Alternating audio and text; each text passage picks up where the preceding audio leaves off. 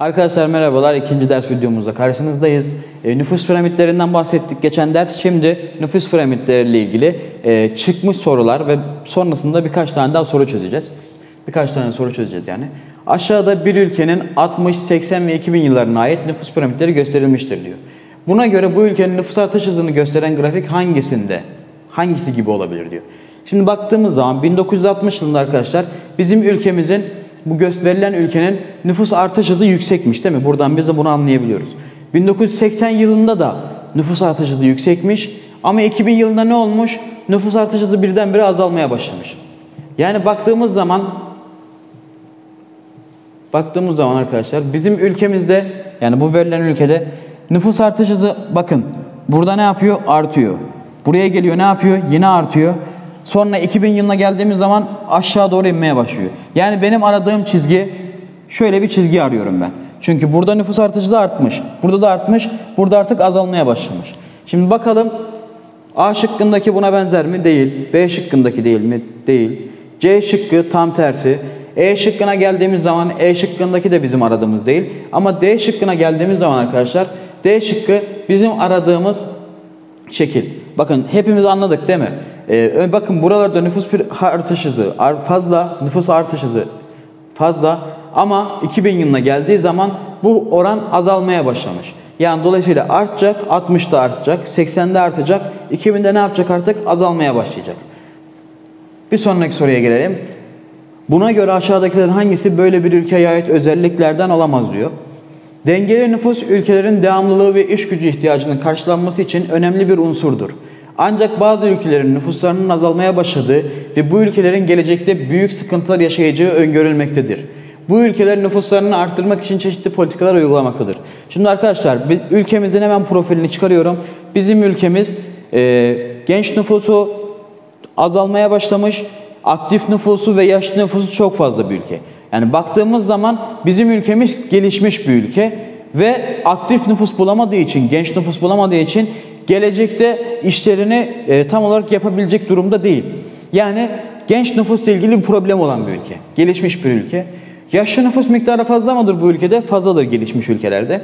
Nüfus piramidinin tabanı dardır. Bakın ne diyor zaten burada? Nüfus e, genç nüfus oranı azaldığı için diyor. Yani doğum olmadığı için diyor. Dolayısıyla piramidin tabanı dardır. Sanayi ve hizmet sektöründe çalışanların sayısı fazla mıdır? Gelişmiş bir ülke ise eğer sanayi ve özellikle hizmet sektöründe çalışan nüfus fazladır. Tarımda çalışan nüfussa azdır. Gelişmiş ülkelerde. E, eğitim, sağlık ve kültürel hizmetler gelişmiştir. Yani gelişmiş bir ülkeden bahsediyoruz zaten. Bunlar da gelişmiştir. İç gözler, göçler fazladır. Arkadaşlar gelişmiş bir ülkede herkes kendi yaşadığı yerde istediği şekilde hayatını sürdürebildiği için kimse problem yaşayamaz. Onun için çok fazla iç göç olmaz. Mesela bizim ülkemiz biz gelişmekte olan bir ülkeyiz. Bizim ülkemizde mesela taşradaki kısımlar, e, insanlar, işte Karadeniz'deki insanlar, Doğu Anadolu'daki insanlar ne yapıyor? İstanbul'a, Ankara'ya göç ediyor. Yani ülke içinde sürekli bir göç var. Niye? Ülkedeki sanayi faaliyetleri nerede? İstanbul çevresinde, İzmit çevresinde, Sakarya çevresinde, Ankara çevresinde veya yani bu insanlar çalışabilmek için ne yapıyorlar? Buralara gidip oralarda e, gurbet yapıyorlar. Yani orada çalışıyorlar. Dolayısıyla ülke içinde bir sürekli göç hali oluyor. Ama gelişmiş bir ülkedeyseniz eğer yaşadığınız yerde zaten sizin ihtiyaçlarınızı karşılayacak sektörler vardır. Mesela sen tarım yapmak istiyorsan, çiftçilik yapmak istiyorsan çiftçiliğini en iyi şekilde yapabilirsin orada. Dolayısıyla göç etmeni gerektirecek çok fazla bir durum olmaz. Bunun için de cevabımız edin arkadaşlar. Gelişmiş ülkelerde iç göç çok fazla değildir. Gelişmiş ülkelerde iç göç azdır. Şimdi bir tane karşılaştırma sorumuz var. Aşağıdaki K ve L ülkelerine ait nüfus piramitleri verilmiştir. Bu piramitlere göre K ve L ülkeleriyle ilgili olarak aşağıdakilerin hangisine ulaşılamaz diyor. Şimdi önce bir piramitleri okuyalım. Şimdi K ülkesinde doğum oranı fazla, ölüm oranı da fazla ama ama baktığımız zaman genç nüfus oranında bir artış var. L ülkesine baktığımız zaman arkadaşlar çan şekline benzer, arı benzer. Yani gelişmiş bir ülkenin piramidi bu baktığınız zaman. Aktif nüfus çok fazla, yaşlı nüfus fazla, genç nüfusta bir, bir tık daha az K'ya göre. K'da ortalama insan ömrü L'den azdır. Az mıdır? Evet çünkü sadece grafikten bile anlayabiliyoruz, piramitten bile anlayabiliyoruz. Veya onu geçtim. Buna gelişmiş, buna da gelişmemiş dediğimiz zaman oradan da çıkarımları yapabiliyoruz. Şimdi gelişmemişteki K gelişmemişti ya. Gelişmemişteki nüfusun eğitim düzeyi gelişmiştekinden daha yüksektir. Buna ulaşabilir miyiz arkadaşlar? Gelişmemiş bir ülkedeki eğitim düzeyi gelişmiş bir ülkeden daha yüksek olabilir mi? Olamaz. Diğer şıklara da bakalım. Gelişmiş ülkedeki çalışabilir nüfus gelişmemiş ülkeden daha fazladır. Daha fazla mı? Evet, aktif nüfus daha fazla. Grafikten anlayabiliyoruz. Gelişmiş ülkedeki e, gelişmemiş ülkedeki çocuk gelişmiş ülkedeki yaşlı bağımlı nüfustan fazladır. Evet, baktığımız zaman tabanı çok geniş olduğu için buradaki nüfus fazla. Gelişmiş ülkedeki doğum ve ölüm oranları gelişmemiş ülkedekinden daha azdır. Doğum ve ölüm oranları baktığınız zaman genç nüfus fazla, çocuk nüfus fazla, yaşlı nüfus da fazla olduğu için hem doğum oranı hem de ölüm oranı L'de daha fazladır. Dolayısıyla cevabımız ne arkadaşlar? Cevabımız Bursa. K'daki nüfusun eğitim düzeyi yani gelişmemiş bir ülkedeki eğitim düzeyi gelişmiş bir ülkedeki eğitim düzeyinden daha fazla olabilir mi? Olamaz. Şimdi bir diğer sorumuz bu direkt cevabıyla geldi.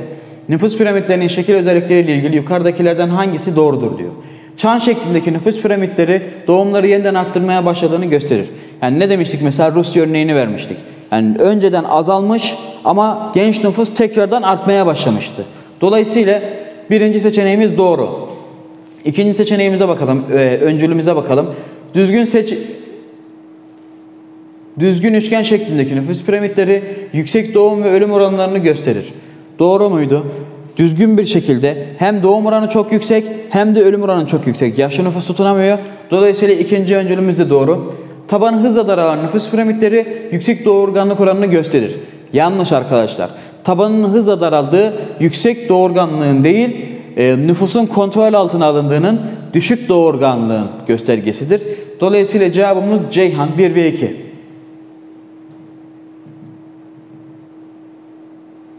Bir sonraki soruya bakalım.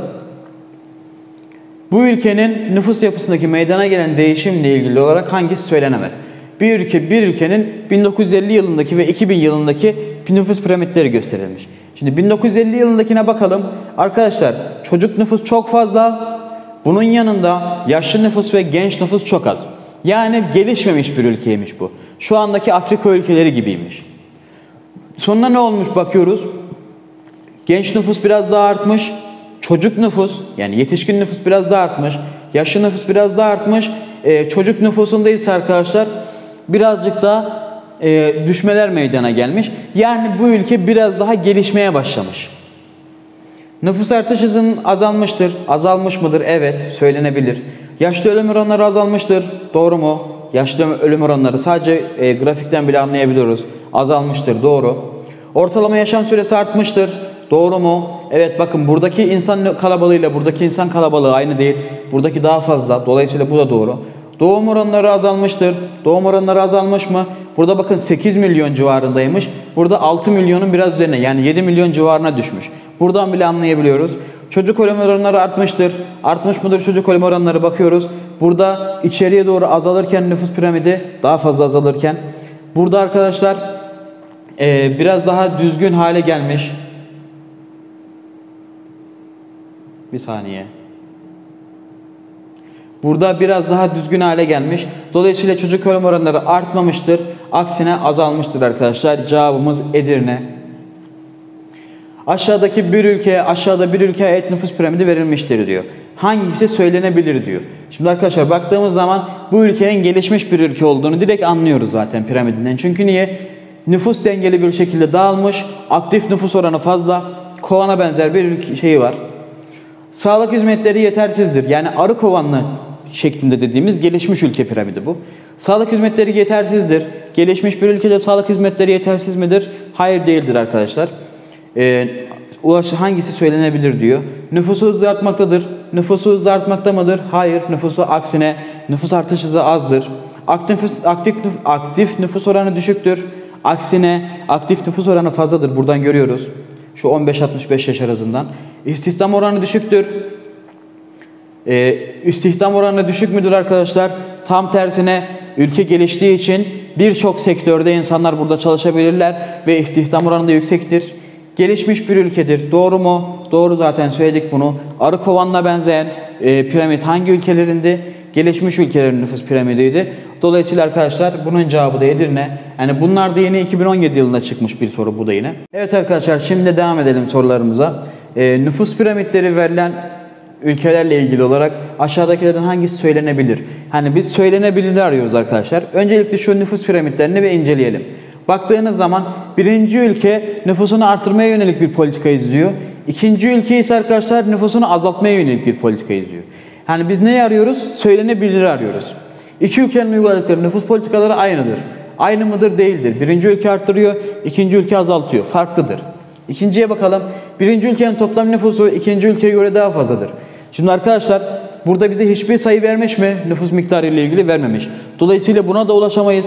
Yani bu daha geniş olduğu için nüfus daha fazla gibi görünebilir şu anda ama grafiğe baktığımız zaman bize hiçbir sayı vermemiş. Bize sayı vermediği için de e, bu konu hakkında yorum yapamayız. C şıkkı birinci ülkedeki doğal nüfus artış hızı ikinci ülkeye göre daha düşüktür. Bu söylenebilir mi arkadaşlar? Tam tersi. E, birinci ülkedeki doğal artış hızı daha fazladır. Tam tersi olacak. İki, ikinci ülkedeki aritmetik nüfus yoğunluğu birinci ülkeye göre daha düşüktür. Aritmetik nüfus yoğunluğu ile ilgili de bir, bir yorum yapamayız. Çünkü biz yüz ölçümünü bilmiyoruz o bölgenin arkadaşlar. Dolayısıyla hiçbir yorum yapamayız bununla ilgili de. Yani iki aritmetik nüfus yoğunluğu bulmak için e, ülkelerin nüfusu yani yüz ölçümünün de bilinmesi gerekiyordu. Sadece piramitlere bakarak bu konu hakkında yorum yapamayız arkadaşlar. E şıkkına bakalım. İkinci ülkede 2000 yılından 2010 yılına kadar doğal nüfus artışı hızında azalma oluşmuştur. Şimdi bakın bu 2010 yılında diyor. Şimdi baktığımız zaman 14 yıllık bir süreç var bu arada. Dolayısıyla 2000 yılından itibaren, 2000'lerden itibaren ikinci ülke ne yapmış? Nüfusunu azaltmaya yönelik bir politika izlemiş. Dolayısıyla cevabımız ne? Cevabımız Edirne arkadaşlar. Geçelim. Bir ülkenin nüfus piramidine bakılarak aşağıdaki verilerden hangisine ulaşılamaz? nüfus piramidinden hangisini yorumlayamayız diyor. Bakalım tek tek. Ön yukarıyı da okuyalım. Nüfus özelliklerini, ülkelerin nüfus özelliklerini göstermek için kullanılan yöntemlerden biri de nüfus piramitleridir. Nüfus piramitlerinden hangisinin sonucuna ulaşılamaz? Biz bunu istiyor. Çalışma çağındaki nüfus miktarı. Bulabilir miyiz? Çok net bulabiliriz arkadaşlar. 15 ile 65 yaş arasındaki nüfus miktarını. Nüfusun yaş gruplarına dağılımını bulabilir miyiz? Rahat bir şekilde bulabiliriz. Ee, kadın nüfusun erkek nüfus oranını bulabilir miyiz? Bulabiliriz çünkü toplam kadın nüfusunu ve toplam erkek nüfusunu biliyoruz. Hizmet sektöründeki çalışan nüfus miktarı E şıkkı toplam nüfusun miktarı. Toplam nüfusun miktarını da buluyoruz. Ama biz arkadaşlar sadece nüfus piramidine bakarak hangi sektörde kaç kişinin çalıştığını, bu oranlamanın nasıl olduğunu belirleyemeyiz. Bunu sadece biz sadece nüfusun sayısal verileri hakkında yorum yapabiliriz bununla ilgili. Dolayısıyla cevabımız Denizli arkadaşlar. Hangi sektörde kimin daha fazla çalıştığını söyleyemeyiz. Buna göre 0-14 yaş arası nüfus oranının diğer yaş gruplarına göre daha fazla olan bir ülkenin nüfus özellikleri hakkında hangisi kesin olarak söylenebilir diyor. Yani bize kısaca şunu diyor. Çocuk nüfusu fazla ise bir ülke diyor. Biz o ülkeyle ilgili ne yapabiliriz diyor. Nüfus piramitlerinde yaş grupları genel olarak 0-14 yaş arası çocuk, 15-64 yaş arası yetişkin, 65 yaş ve üstü de yaşlı olarak kabul edilir diyor. Bakalım biz neye arıyorduk? Çocuk yaş nüfusu fazla olan bir ülkenin özelliklerinden birini arayacağız. Kadın nüfusu erkek nüfusuna göre daha fazladır. Söyleyebilir miyiz? Söyleyemeyiz. Kesinlik yok burada. Çalışma çağındaki nüfus oranı yaşlı nüfus oranına göre daha fazla, daha azdır. Söyleyebilir miyiz? Sadece çocuklara bakarak söyleyemeyiz. Çocuk nüfus miktarı yaşlı nüfus miktarına göre daha fazladır. Bunu söyleyebilme ihtimalimiz daha yüksek arkadaşlar. Doğal nüfus artış hızı gerçek nüfus artış hızından daha düşüktür. Söyleyebilir miyiz?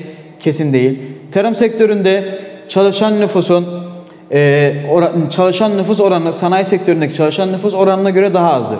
Bunu da tam olarak söyleye, söylemeye, söyleyemeyebiliriz arkadaşlar. Ama C şıkkına tekrar döndüğümüzde çocuk nüfus miktarı yaşlı nüfus miktarına göre daha fazladır. Özellikle tabanı çok geniş olan ülkeler ne tür ülkeler oluyordu? Genellikle geri kalmış ülkeler oluyordu. Dolayısıyla yaşlı nüfus oranı ne olacak bu ülkede, bizim bu ülkemizde, geri kalmış ülkemizde az olacak. Çocuk nüfus oranı da tam tersine fazla olacak arkadaşlar. Cevabımız ne? Ceyhan. nüfus piramitleri ile ilgili aşağıdaki verilen bilgilerden hangisi yanlıştır? Tek tek bakalım. Sanayi devrimi öncesi toplumların çoğunun nüfus piramidi arı kovanı şeklindeydi. Arkadaşlar bu doğru bir bilgi değil. Cevabımız Adana. Diğerlerini de okuyalım. Düşük doğum ve ölüm oranlarının görüldüğü ülkelerde nüfus piramidi arı kovanı şeklindedir. Doğru. Hem doğum oranı düşük hem ölüm oranı düşük. Baktığımız zaman kovan şeklinde bir piramit olur bu. 0-5 yaş arası yaş grubundaki ölüm oranlarının azalmaya başladığı ancak doğum oranlarının yüksek olduğu ülkelerin piramidi kenarları içe çökük bir özellik gösterir. Bakın 0-5 yaş arasındaki grubun ölüm oranlarının azalmaya başlamış ancak doğum oranı yine yüksek. Yani dolayısıyla yavaş yavaş nüfus artış hızı azalmaya başlayacak. Asimetrik piramit doğum oranının hızlı bir düşüş görüldüğü, ölüm oranının da düşük olduğu ülkelere özgüdür. Bakın ne olacak? Doğum oranında hızlı bir düşüş görülecek. Hani asimetriyi anlatırken biz ne demiştik? Önce arttıracaktı, sonra azaltacaktı birazcık nüfusunu.